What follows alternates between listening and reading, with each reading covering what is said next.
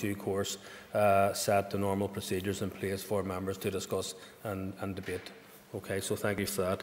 On matters of the day, uh, Mr Jim Allister has been given leave to make a statement on abortion regulations which fulfils the criteria set out in Standing Order 24. If other members wish to be called, they should do so by rising in their places and continuing to do so. All members shall be called up to three minutes. Sorry, all members called will have up to three minutes to speak on the subject. I would remind members that I will not be taking points of order on this or any other matter until the item of business has finished. And I call Jim Allister. Thank you, Mr Speaker. Um, the minds of us all at this difficult time are very much focused on the saving of lives. And therefore, it is all the more abhorrent and perverse that at that very same time we have regulations coming into effect today which will sanction the killing of the unborn. From today, what should be the safest place for an unborn, namely its mother's womb, can become, on a whim, one of the most dangerous places. Because we're going to have utterly unfettered, uncontrolled abortion up to 12 weeks.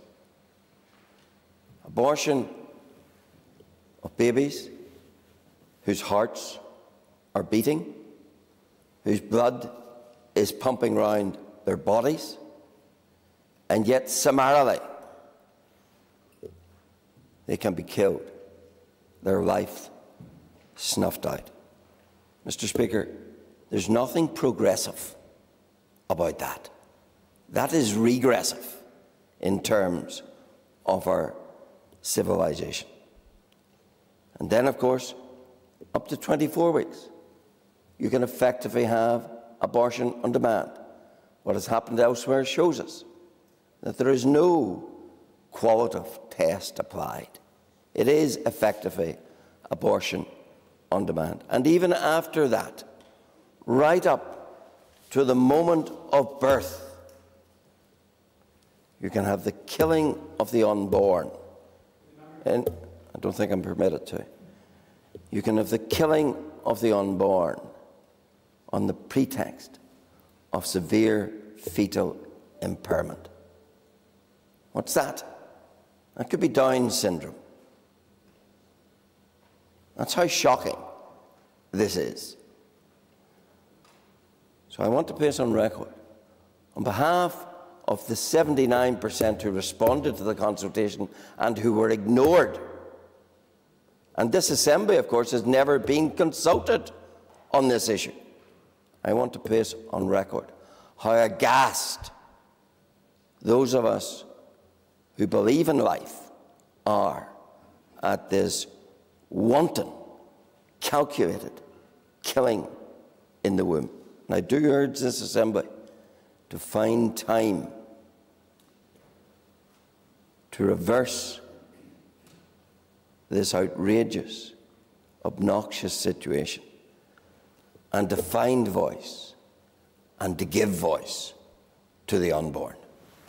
Thank you. I call Paul Givan. Thank you, Mr Speaker. Uh, I hope that the Assembly will find time, uh, given the issue at stake here, because we are talking about life, uh, and that the Business Committee will schedule uh, a motion that was tabled to be heard uh, before these regulations are voted upon at Westminster uh, to give effect to this. 79% of those that responded to this consultation opposed any change uh, in the law in respect of abortion in Northern Ireland. And the British Government once again rides roughshod over the will of the people in this country. This is a matter that requires our urgent attention. Uh, abortion up to, in effect, uh, 24 weeks for any reason, and up to term for disability. So no member in this House can ever look at people with disabilities and say, proclaim to champion their cause if they're in favour of this.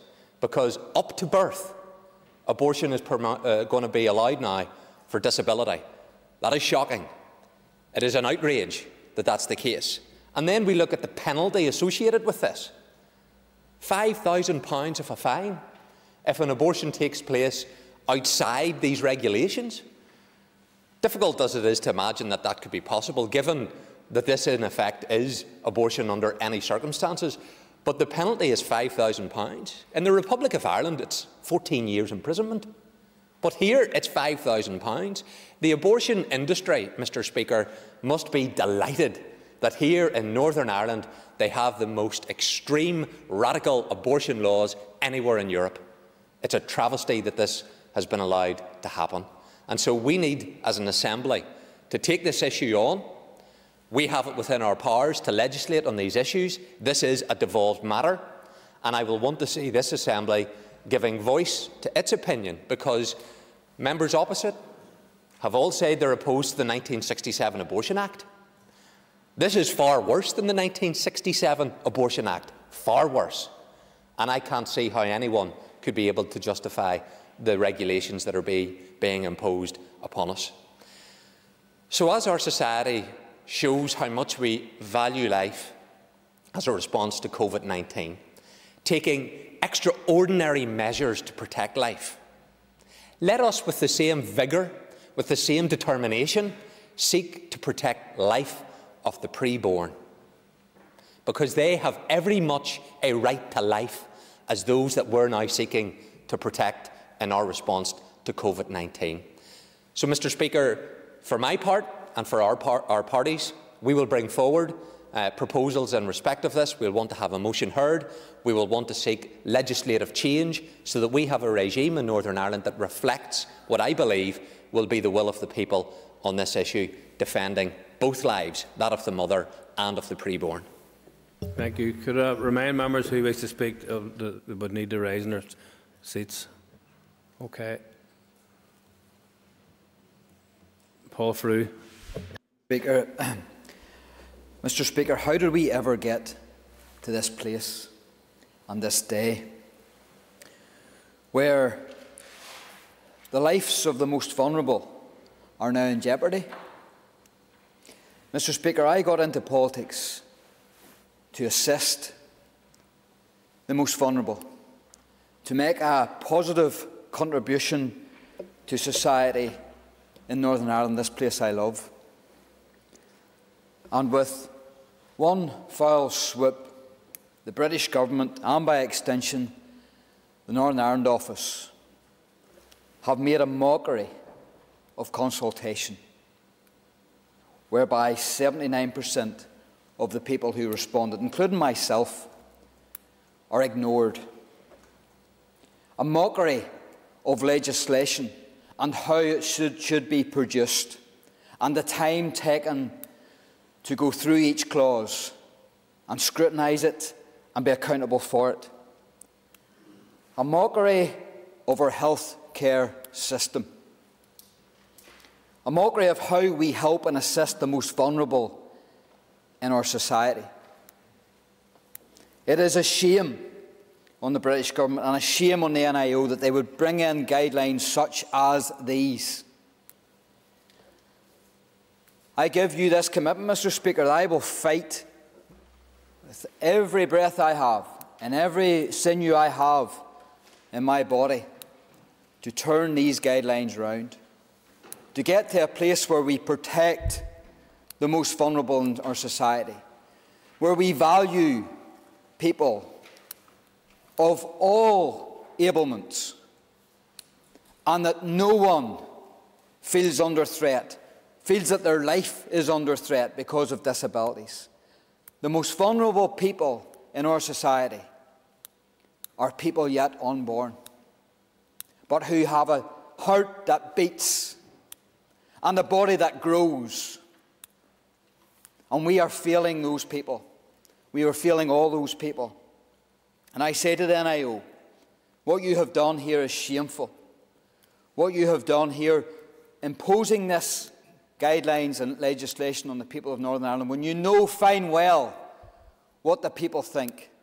It is well documented throughout the years, even through the decades, where we had a different legislation from the rest of the GB. You know how strong the feeling uh, and mentality is in Northern Ireland around these issues, but yet you ride roughshod over the people's will. We must change this, we must correct this, and we must get into place legislation that protects the most vulnerable and also protects the mother, the father, and the family of the unborn. Our business over the next couple of weeks, Mr. Speaker, is about saving lives. The business of this House is about saving lives. But yet, the Department of Health are now having to deal in death. Thank you, Mr. Speaker. Thank you. And I call Caoimhe Archibald. Um, there is no doubt in anybody's mind that abortion is a very sensitive and emotive issue, but there is also no doubt that the legislation and regulations that we had in place were failing women, um, and that the, in terms of the, the legislation which criminalised women um, for having an abortion, that needed to be repealed and it needed to be replaced with legislation that was appropriate, modern, and provided for compassionate healthcare services um, Sinn Féin's party policy on abortion is very clear and has been well debated amongst our members. Um, and it states that abortion should be available where women's life, health or mental health is at risk in cases of fatal fetal abnormality and in cases of rape or sexual abuse. It is not possible to legislate for, abort or for rape or sexual crime in a compassionate way and for that reason our, our position is that abortion should be available for a limited gestational period in line with best medical advice. Um, and I think therefore that what has been brought into play is only right and proper that women now can access abortion services without having to travel, that they are free to be able to have health care in a modern and compassionate way. And I think that we would also put on record that we, we believe that the Department for Health needs to consider the circumstances at the minute in terms of access to um, all appropriate healthcare. Go raibh maith agat. Thank you. And I call Matthew O'Toole. Thank you, Mr. Speaker. Um, this is clearly an extremely sensitive subject, perhaps among the most sensitive subjects that legislators can debate. I'm glad that uh, healthcare in Northern Ireland for women has evolved to a place where women can access essential services that people in other parts of the UK and now other parts of Ireland can access. I recognise the strength of feeling in the benches opposite. Indeed, I recognise the intense um, dilemma that the issue of abortion presents for families, communities, and indeed sometimes individuals themselves. I don't speak um, uh, as a spokesperson um, uh, entirely for my party on this. Others will have other views, and they are um, as entitled to, the, to, to those views as I am.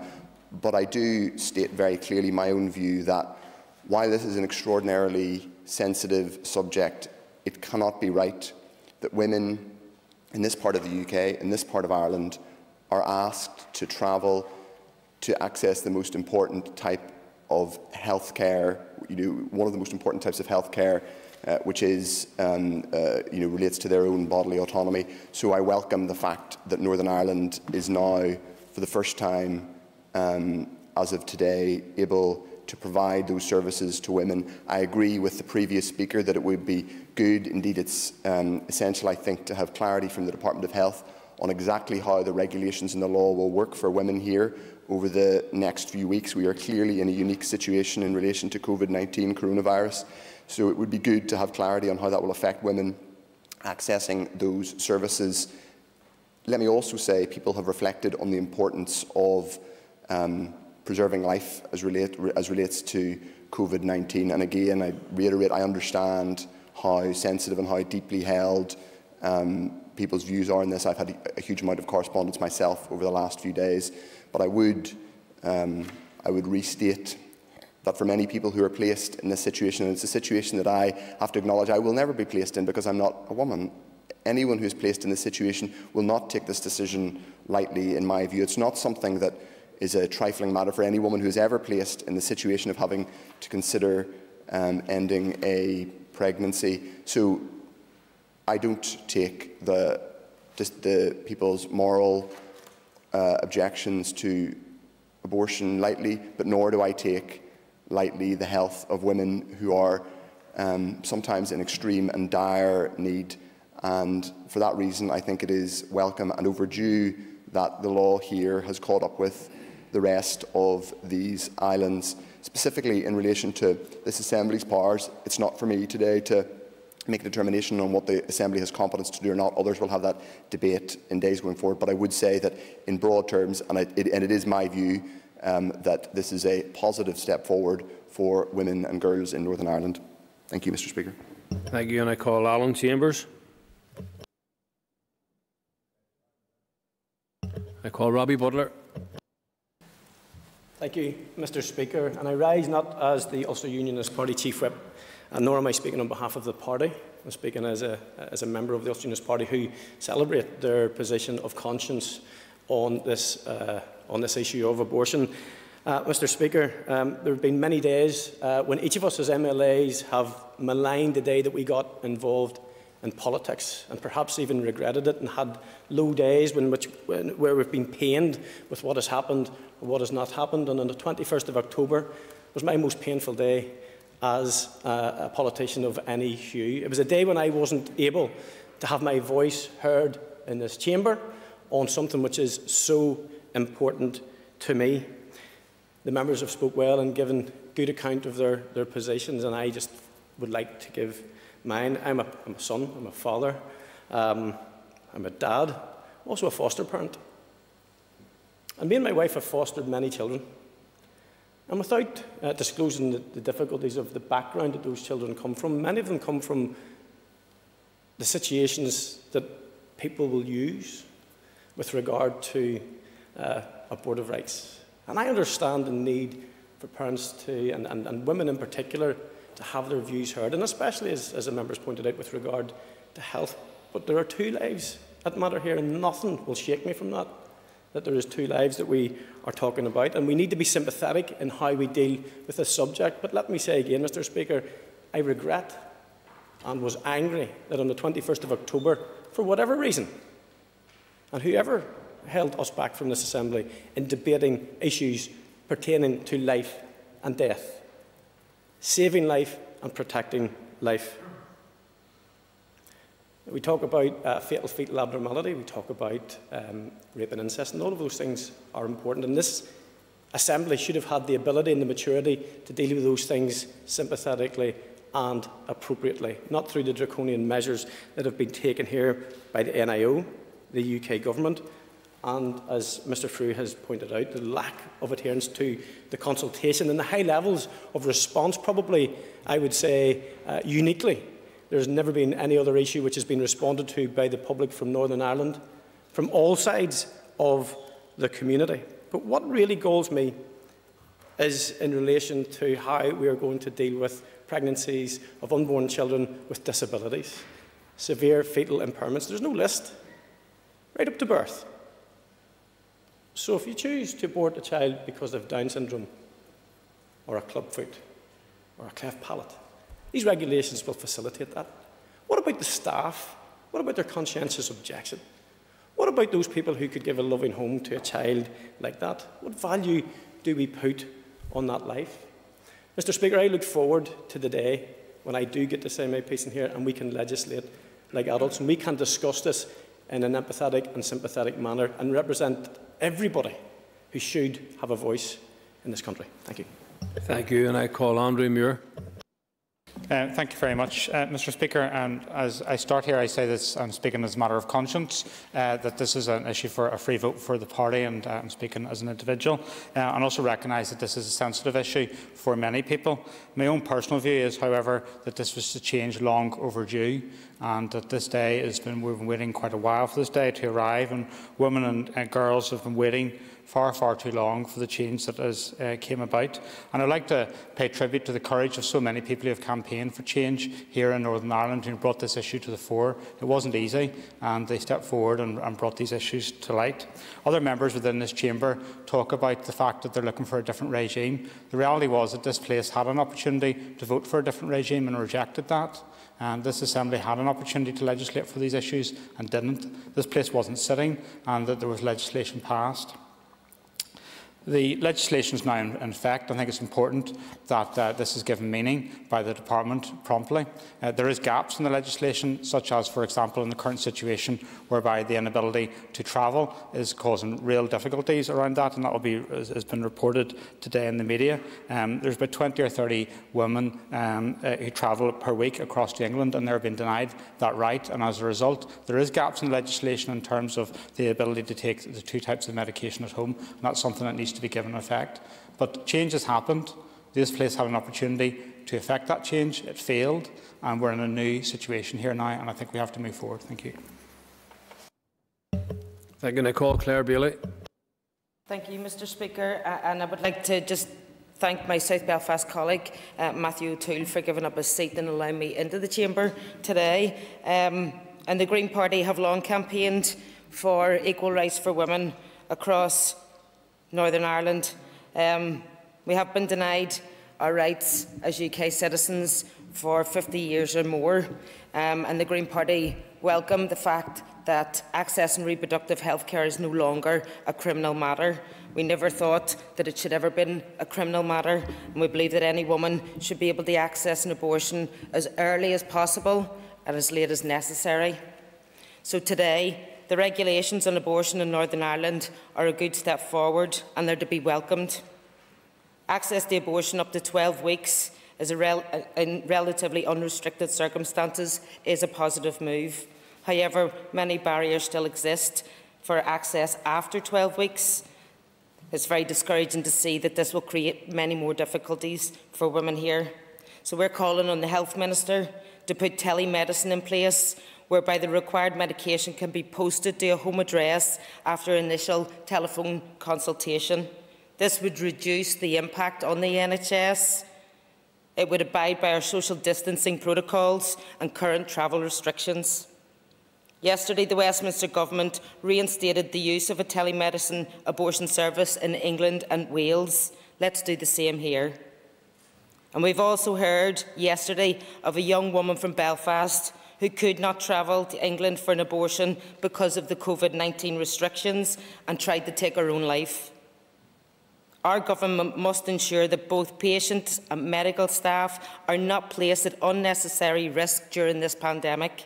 Millions of women around the world have successfully used abortion pills. It's on the World Health Organization's list of safe medicines. Safer than using aspirin, they say. The plight of women and girls requiring access to abortion during this pandemic cannot be ignored. And while this is a good day and a good step forward, it's certainly not enough for access and reproductive health for women when they need it. Thank you. Thank you. And I call Gerry Carroll. Mr Speaker, um, yesterday, um, as was previously re referenced, uh, a young woman uh, tried to kill herself as a result of the denial of abortion services. Um, she couldn't travel to England because of the result of the current uh, pandemic. Uh, and the, the, reality is uh, the current or the outgoing uh, legislation guidelines has put women at risk for some time. They were guidelines that predated the light bulb, um, and I'm glad they've came to an end. And obviously the coronavirus situation, um, with people obviously following the public health uh, guidance to stay at home and to isolate and socially distance, we will still obviously need uh, access to terminations and abortion services uh, for, uh, for women. And despite some of the, the previous comments uh, made by members, abortion is a fundamentally a healthcare issue. It's not a criminal issue, and I'm glad that that's uh, coming to an end. And whilst obviously these guidelines introduce uh, provision uh, for some women, up to 12 weeks. The reality is that some women uh, will be still placed in dangerous situations as a result of gaps in these guidelines. Uh, women in domestic violence situations, uh, women in rural areas, uh, so on uh, and so forth. So I, I, would join the call for the Health Minister, I would appeal to him to introduce telemedicine care now to allow access to abortion pills uh, for women who have been forced to stay at home as a result of this pandemic. They're doing the right thing by staying at home. Everybody's doing the right thing to stay at home in this situation, and people need to be supported in their healthcare decisions. And uh, um, the World Health Organization, who we regularly quote in reference to this uh, pandemic, uh, have said that abortion pills are safe as paracetamol, aspirin, and other regular uh, tablets, so we should trust them on it. Um, Obviously, uh, as a result of this previous uh, outgoing guidelines, women have been criminalised uh, for some time, despite the fact that terminations of pregnancy has, has happened for many, many years. And this talk of imposition uh, from members op opposite is quite ironic. Uh, from members who were buddying up to the Westminster government uh, for so long. the truth is, this House abdicated its, its, responsibility for year after year after year when it comes to legislating for choice for abortion services and to stand by and to trust uh, women. Um, we've heard obviously reference being made to the public mood and pu the public view on, on this in terms of abortion services. The reality is the majority of people here are for choice. Every single survey shows that people here are for, are for choice. Life and Times survey, to name one, report and survey after survey shows that people are for choice. So the truth is, this guidelines, this legislation coming in, uh, in some way goes to reflect the public mood for choice, but there's gaps, uh, as has, has been mentioned uh, as well. So the public mood is for choice. And the vast majority of healthcare workers, we should say as well, are for choice, or for supporting women to get access to abortion uh, services. So in this time of, uh, uh, we're rightly celebrating and recognising the role of our healthcare workers at this time, trust them to make the right decision around abortion services and abortion access. And that means having a legislative uh, system in place that doesn't criminalise women, that doesn't penalise women, and Member trust them to make the correct uh, decision for themselves. Thank you. Thank you. And I call Trevor Lunn. Speaker, um, as, as, one who has supported this, this uh, type of action over a number of years and who has spoken on it in this House before now, and some of you might remember the occasion when we, um, the two members of the Alliance Party, myself and Stewart Dickson, acting in our own capacity, of course, uh, proposed a, an amendment to the Justice Bill which would have taken care of the issue of fatal fetal abnormality. Uh, that wasn't passed by the House. I think it was a pity at the time, and I, I do wonder where we'd be now if that had been passed. Would Westminster have taken over the whole issue, or would they not? I don't know. But as far as I'm concerned, this, this is a satisfying day. I'm not going to glory in it. It, it. It's a good day for women, for women's rights, for women's right to choose, which we have long cam- I have long cam- I'll have to stop saying we, Mr. Speaker. I have long campaigned for. The, the question of the 12 weeks issue. Um, Mrs. Archibald is absolutely right. There is no way to legislate for rape and incest situations. We, we, we thought about this at the time of the amendment, and we couldn't come up with a wording. Actually, one of our other members did, but we, actually we even voted against it because it wasn't satisfactory. And uh, the only way to deal with that, in my opinion, is to allow unfettered, if that's the word, termination for the first 12 weeks. That, that takes care of that issue.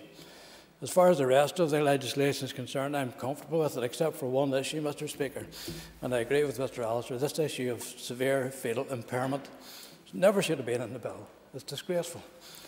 It, it, it opens doors that didn't need to be opened. And if we are going to debate this issue at some stage here, I hope that that would be the first item on the agenda, because it's, it's not right. It's, it's immoral. And I hope we can do something about it. Thank you, and I call Jonathan Buckley. Thank you, Mr Speaker. Uh, it's with great sadness that I rise in the House today for two reasons. Firstly, to speak on behalf of the thousands of constituents that have contacted me, and I know other members, on this issue since I became an elected representative. This is an issue that transcends traditional party lines. Traditional orange and green go out the window when it comes to the rights of the unborn. I also rise to speak for those that do not have a voice, the unborn, and particularly here in Northern Ireland, because Northern Ireland has enjoyed a policy, a pro life policy, in which we can celebrate 100,000 lives living today because of the policies that we had in place. No one in this House or indeed in Westminster can tell me that these people have not contributed and add value to society here in Northern Ireland and further afield. It's an absolute shame. A shame on the British government, a shame on the NIO, that in the midst of such uncertain times, such crisis that we're in, that these regulations and legislation can become into effect. Mr. Speaker, I rise as someone that is unashamedly pro life. I value life from beginning to end. But it seems that while we debate COVID 19 in this place and across this country, many have rose and spoke with great emotion and great sincerity about the life that will be lost as a result of this cursed plague, COVID 19, but yet can turn a blind eye while regulations come into place that end the life of the unborn. They operate a policy simply of seeing is believing. What shame, what utter shame and contempt on not only the British government, but indeed members that choose to turn a blind eye in this House. We talk about protection of the most vulnerable. I've heard it on every side of this House. But on an issue like this, those that cannot defend themselves, we turn a blind eye. Shame, Mr. Speaker. Regulations which will allow abortion on request for first 12 weeks of pregnancy, abortion up to 24 weeks on grounds of continuance of the pregnancy, which would involve risk of injury to the physical or mental well being of the pregnant uh, woman or girl. This legislative assembly has been held in contempt, and it's high time we recognise that. It is sad that in these circumstances we cannot uh, debate uh, legislation or put forward uh, legislation or amendments to this very issue. But I take confidence of what my friend Mr Givan has said, that when that opportunity should come, this party will not be found wanting. And I place on record to my constituents who've lobbied me on this issue and to the unborn that Member, I will never time be is up. silent on the issue of the unborn. Thank you, Mr Speaker. Thank you. And that brings this section of the agenda to a close. Thank you. Um, the next item on the order paper is a motion regarding committee membership. As with other similar motions, it will be treated as a business motion and there will be no debate. Clerk, please read the motion. That Mr Andrew Muir replace Mr Trevor Lunn as a member of the Public Accounts Committee. Can I call John Blair to move the motion? Mr Speaker. The question is that the motion standing on the order paper be agreed. All those in favour say aye. Contrary, no. The ayes have it. Thank you. The next item on the order paper is a motion to appoint members to the Board of Trustees of the Assembly Members Pension Scheme. It will be treated as a business motion, so there will be no debate. I will ask the Clerk to read the motion. That this Assembly appoints Dr Caoimhe Archibald, Mr Pat Catney and Mr Andrew Muir as trustees of the Assembly Members Pension Scheme. I call John O'Dowd to move the motion. The question is that the motion standing on the order paper be agreed. All those in favour say aye. Contrary, no. The ayes have it. Thank you. Point of order, Mr Allister. Um, I rise for the third successive week to express regret that we are about to make significant change to the processes of this House without the opportunity for debate uh, in the setting up of this new committee. It may well be a very meritorious suggestion. Uh, I'm not at this point suggesting otherwise, but I think it is a fundamental flaw in the manner in which we're approaching these things that we are not facilitating and allowing debate on these matters. The Business Committee that brought this forward could at the same time have brought forward a motion to suspend Standing Order 12.7 to allow debate, but chose not to do so. And I think that is most uh, uh, inappropriate and regretful. Could I ask for one specific matter? Can you tell us, Mr Speaker, if the absolute privilege which applies under Section 50 of the Northern Ireland Act of 1998 will apply equally to an ad hoc committee such as this in this House. The absolute privilege that applies to every member when they participate in this Assembly as the Assembly. Will that same absolute privilege apply to this intended committee? Well, the, the matter will be considered further, and if the Assembly is to approve the motion in front of it today, tabled by the Business Committee, and I would make the point that the Business Committee did consider whether to enable a debate or not, and they decided they were satisfied that they did not require a debate given the extenuating circumstances we all are facing with the current unprecedented health crisis. So uh, further, issue, further guidance will be issued if the Assembly votes to approve this motion, and I'll make some remarks to that later on. Thank you.